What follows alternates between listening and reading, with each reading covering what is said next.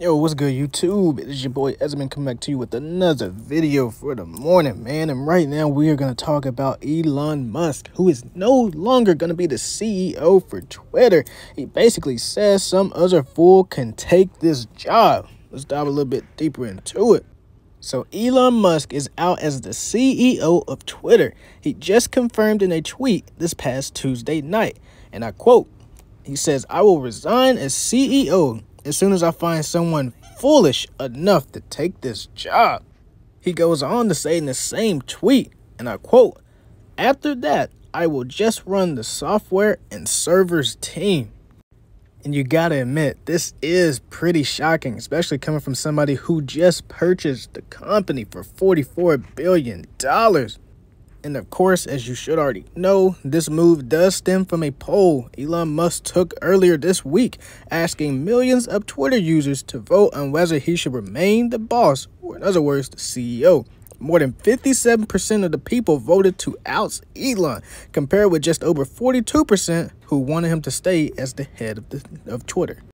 This policy seems to be tied to Elon's misstep on Sunday when he implemented a policy that barred accounts from promoting competing platforms like Facebook and Instagram.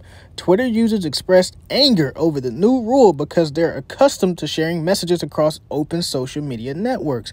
Musk quickly buckled, adjusting the policy to suspend accounts whose primary purpose is to give free advertising to rival companies.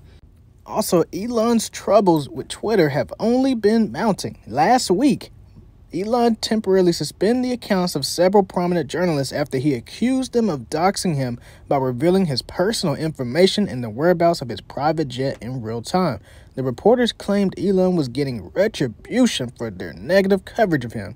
It all came to a head during a heated online video chat, which ended with Elon abruptly leaving their meeting. Let me just keep it a buck with y'all. I do think that Elon Musk probably would be a good Twitter CEO. However, he just has too many things going on. If he could probably focus on this only, he'd probably be in a much better position. But this just is not going to work for the man. He needs to go ahead and get us to somebody else. Like I said, Snoop Dogg has already basically said, hey, the people want me you might as well just go ahead and promote me. If you ain't seen that video, you can check that out too. It will be down below.